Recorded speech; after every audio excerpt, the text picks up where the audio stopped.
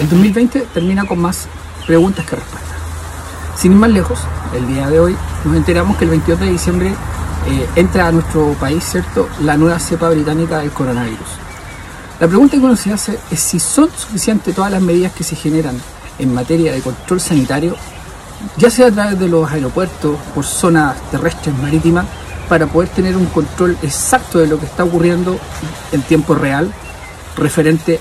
a la forma de que se expande este virus en el planeta. Y no solo eso, existen herramientas tecnológicas que permiten ayudar a identificar este tipo de situaciones. Bueno, la respuesta es sí. De más está decir que cuando comenzó el proceso de contagio o esta pandemia global que nos ha tenido prácticamente todo el año encerrado, ya había una empresa en Canadá, Blue Dot, que ya había identificado el patrón de conducta de esta pandemia y predijo, incluso con mucha antelación, referente al alcance que esto iba a tener a nivel global. Por sobre incluso la Organización Mundial de la Salud. Es decir, la tecnología está y ha sido útil,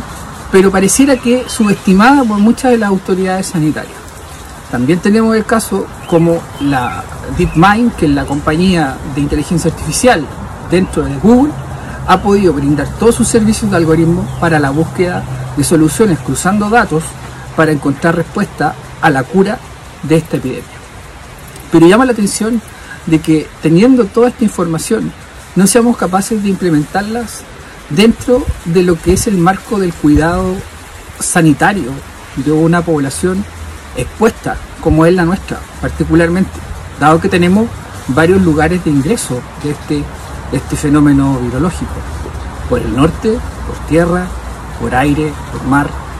Hemos visto cómo también se ha llevado el virus a la Antártida.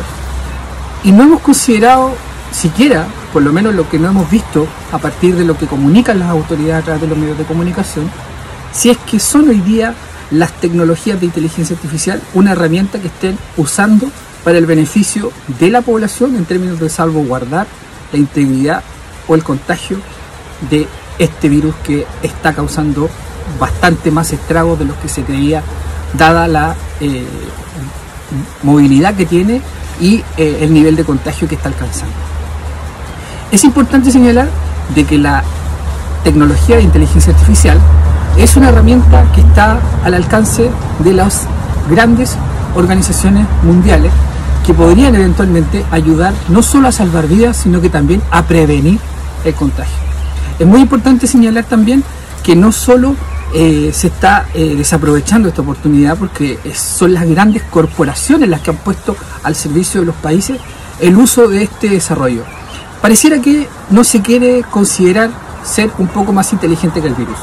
Es una señal eh, extraña, por decirlo de alguna manera, que no seamos capaces hoy día de adaptarnos no solo a esta convivencia natural que se puede tener con los patógenos, sino también con el desarrollo y la innovación es importante que cada una de estas personas que hoy día están involucradas en el cuidado, en el salvaguardo de mm, los compatriotas, no solo acá en Chile, sino que a nivel global,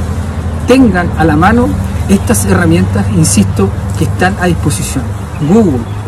Huawei, Samsung, Apple, por nombrar solo algunas, ya han puesto todo su desarrollo, toda su infraestructura al servicio de la comunidad científica, de los investigadores no solo para encontrar una cura, sino que precisamente para identificar los vectores de contagio y particularmente hacer un seguimiento adecuado a partir de modelos matemáticos con grandes bancos de información, con grandes procesadores de datos para poder identificar efectivamente cada vez que surge un foco o, una, o un vector, cuáles son los movimientos que éste tiene y hacia qué lugares se desplaza, pudiendo identificar así cada uno de los potenciales escenarios para poder hacer frente a la pandemia del coronavirus. Por lo tanto, esperemos que el 2021 las autoridades se hagan cargo del uso correcto de estas tecnologías e incorporen dentro de sus mesas de expertos al menos un modelo predictivo de inteligencia artificial.